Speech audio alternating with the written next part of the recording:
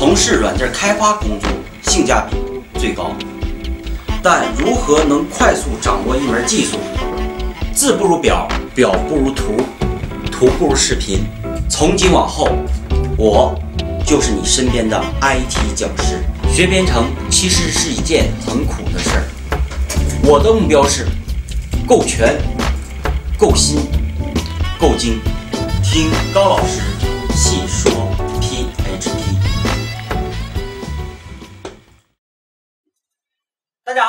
家好，我是胸联的讲师高洛峰。大家好，我是妹子。啊妹子，上节课呢，咱们讲了回调函数，对吧？那什么是回调函数呢？语法上很好理解，就是在函数的参数中传另外函数的名称，对吧？这样的话，在调的函数的内部可以用到这个参数名称对应的那个函数，对吧？也就是在函数里边又调用到另外一个函数了，这就是回调函数的作用，这这概念对不对？那回调函数的作用也很容易理解，什么呢？就是当传一个变量解决不了一些大的事儿的时候，对不对？对吧？也就是传的东西需很复杂，那很复杂呢，咱们就需要传一个过程进去，是不是就能解决这个问题了？而不是一个变量，咱们就能解决的，对吧？那咱看一下，虽然呢大家上节课也学了这个回调函数，但我相信大家对这个概念是不是还有有点不太好理解啊？啊，如果我们自己能做出来回调函数，然后你再应用系统的回调函数，是不是就可以了？因为所有的系统函数的调用形式，我们用程序开发自定义的函数都可以做得出来，对吧？自己能做出来，那么你在用边儿的那就会更方便一些，也更好理解原理，对不对？啊，因为咱们现在是讲基础部分，注重的是语法，而不是开发程序那些思想。OK，所以呢，我们现在自己制作一个，那我们怎么制作呢？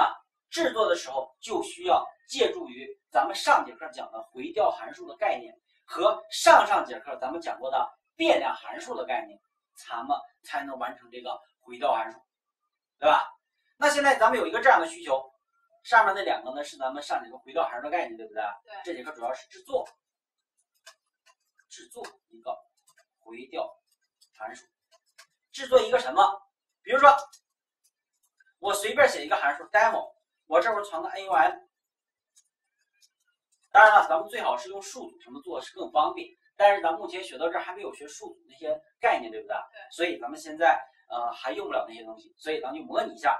比如说我这输入一个数，那我就想从零一直输入输出到这个数的大小的地方，对吧？比如说 for 循环 $i 等于零，$i 小于 $NUM，$i 加加。那现在。我们看一下，输出到了符 i，换个行，看一下，那这个程序我们在调的时候，demo 我传个一百，那妹子会有什么结果？对，从零到九十九。我输入一千呢？从零到一千，对不对？哎，看一下，从零到九十九，对不对？我输入五百呢？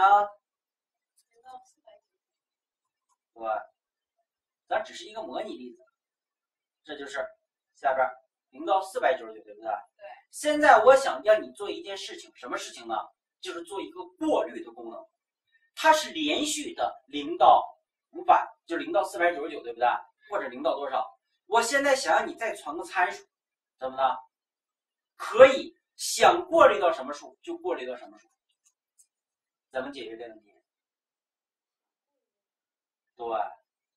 那比如说有规律的，我过滤到三的倍数，在这函数中对，加个判断，对不对？那这块儿，如果当符 i，假如三的倍数，对不对？和三求模等于零，我这个时候 c o n t n u e，c o n t i n u e，是不是这次就不执行了？那我就可以干嘛呀？是不是我就可以？三的倍数就不执行了，对不对？嗯，是不是这样的？那如果我现在想让你说三的倍数、五的倍数、八的倍数，那这个时候是不是用户的行为在改变呢？嗯。那需要想要函数内部改变行为，能怎么做？改变行为对，把这个变成一个什么？变成一个 dollar 分 n，看到了吧？我把这个 n 放到哪儿啊到了分，是不是这块儿？那我在这块儿什么？对，传三，是不是就过滤到三的倍数？三给 n，i 和 n 取模等于零的时候，对不对？我想过滤五的倍数，传五，是不是五的倍数就过滤掉了？看一下这里边就不会有五的倍数了，是这样的吧？啊、那这只是一种情况啊。那假如说我让你说把包含三的都去掉，包含三的不一定有三的倍数吧？比如说二十三包含三吧，对不对？对吧？包含五的，对吧？或者是呃，我就想要两位数的，对不对？不想要三位数的，或者要中间包含零的，或者要什么回文数，不要回文数之类的。什么是回文数呢？就是从前往后读和从后往前读都一样的。比如说一二一，前后读是一二一，后读是比一二一；三三三，前边读三三三，后边读是比三三三，对不对？那情况是不是很多了？那很多了，你是能用这一个参数去解决的吗？用这参数是不是只能解决一个情况啊？对吧？那如果参数是固定的，比如说刚才咱说了三种情况，对不对？那就按这三种做，咱们也有办法做，无非这里边再加几个参数做几个判断嘛，是不是就可以了？比如说再加一个，如果是求模的情况，如果是回文数的情况，我怎么判断？如果是什么怎么判断？里边嵌到是不是就行了？对不对？但是有可能这个用户想过滤的情况有一百万种呢，你能把这一百万种都想到吗？就算你想到这函数是不是得非常庞大，效率非常低，对吧？那就是 这种情况，就是一个变量不能解决的问题，对吧？那咱们就需要怎么着？传一个函数进去，这个函数就是想用户想定义过滤的条件，对吧？那怎么办？还是这个参数 n 我不动，对吧？但是呢，我这块儿看一下，到了分我加了个括号，看到了吗？加了个括号什么意思啊？我把 dollar i 放进去，变量 n 是不是一个参数？参数是不是一个变量？变量加上括号，这叫什么？变量函数对，变量函数。那这个是不是在调用 n 对应的函数啊？嗯，n 名称对应的函数，对不对？而这个函数是还没有呢没有？得调的时候当时得传呢，对不对？那我这块儿随便写一个 function test，我就随便写的一个函数，对吧？你可以随便定义，知道吗？里边是不是需要一个参数啊？对不对？dollar i，你可以声明任何其他的值，是不是都可以啊？那现在想象，如果我在这块儿将对 test，别忘了两边字符串是不能省略的，对不对？因为省略了就是一个常量，虽然程序能执行结果，是因为常量名称转成了字符串，对不对？但是效率很低，所以呢，咱们这块儿要传函数名称。那再回想一下咱们上上节课讲的变量函数的概念，那这个函数的名称给了谁了？是不是给了 n 了？这个 n 的值是谁？对，这块儿啊，现在这个 dollar 分的值是不是就是 test，对吧？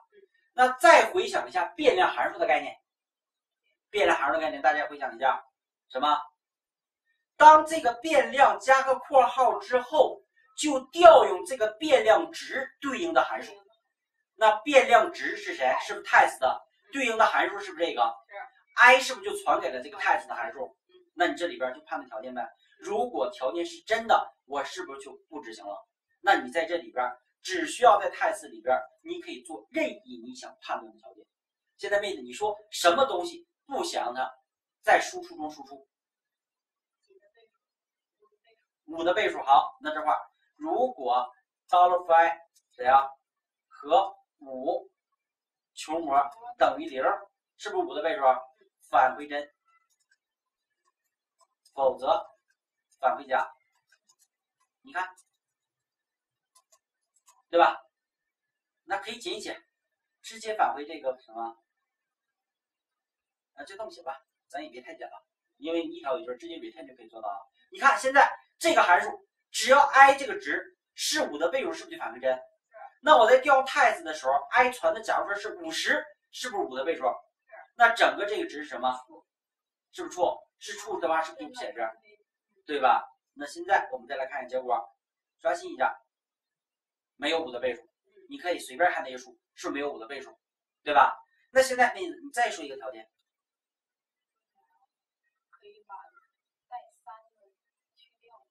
啊，带三的去掉，对不对？啊，带三的去掉呢，这个咱们得把数字用正则来模拟，对吧？包含三的，那我们来试一下。当然，这个大家还没有学正则呢，但是你看，我只要改变这个函数就可以啊。什么呢？让 $fi 点 match 匹配这个用什么？preg 下划线 match 后边呢会学正则，匹配到谁呢？匹配到什么？有三的，对吧？我就怎么的？带三的我是不是就不要？那我们再来看一下结果。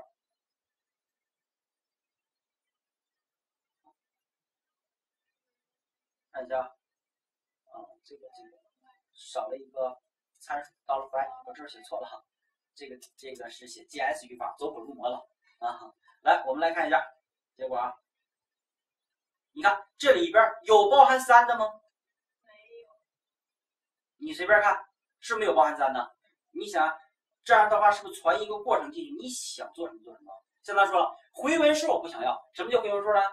正的反读反的读都对，正反图都是一样的值，对不对？那什么叫正反图都一样的值呢？你看啊，这样，如果 DollarFi 等于什么呢？str 就是 repl，嗯，那个 str 下划线反转 str，哎，对，反转，嗯，是对了，这个，你看啊，反转就是。正读和反读是一样的，我就返回针，这样就不要。那比如说这里边它找几个是跟这一样的，你看啊，零正读反读是不是都猜啊？对吧？十一正读反读是不是都猜啊？这都不用说，对不对？二十二是不是？四十四、三十三、五十五、六十六，对不对？对吧？或者是一百二十一、一百六十一，这样的是不是都是回文数？那我们现在得看一下，你现在能找到正读反读都一样的吗？你看哪个正读反读都一样的，是找不到了。